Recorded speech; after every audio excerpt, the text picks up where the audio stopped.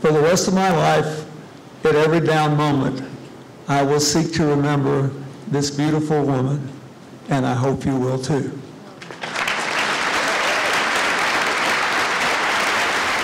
Comes from a small village in South China, Angel says she would never believe she could up on that stage. I was so surprised.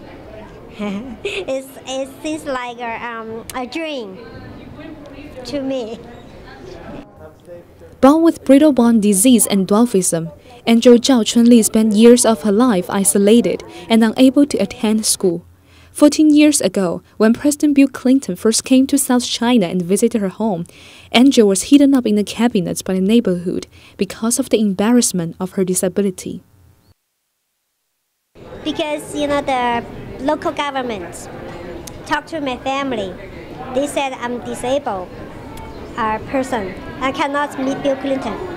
So they just let my parents, you know, hid me upstairs not let me to see Bill Clinton.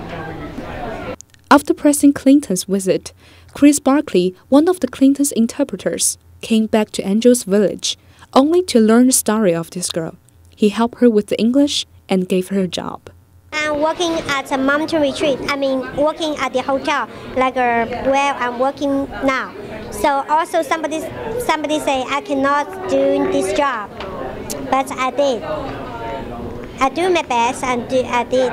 So that's why. Her story of gaining independence as a disabled person inspired a lot of people. She was invited to attend the Clinton Global Initiative annual meeting and finally got to meet President Clinton. She's no longer the girl being hidden up in the cabinets 14 years ago.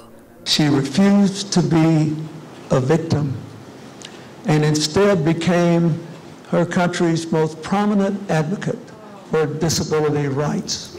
Angel now has four identities the receptionist of Barclays Hotel Yangshuo Mountain Retreat, the advocate for United Nations Education for All movement, a wife, and the mom of an adopted child.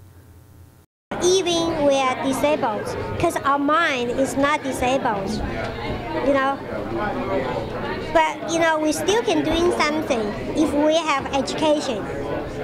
So that's why I hope the other, you know, disabled people like me also can, you know, can have education, job, or have a, you know, family. Yep. Angel now has a lot of fans, more than her expectation. And you know who's the person she's planning to meet? It's President Barack Obama. She's pretty excited about it now. Welcome you to, to China. Reporting from New York, I'm Lucia Chen.